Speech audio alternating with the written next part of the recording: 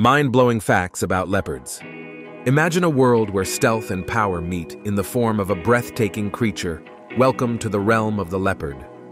Leopards possess the remarkable ability to carry prey twice their weight up into trees, a testament to their incredible strength. Unlike many large cats, leopards are solitary creatures. Their survival relies on their prowess and independence, not on the strength of a group.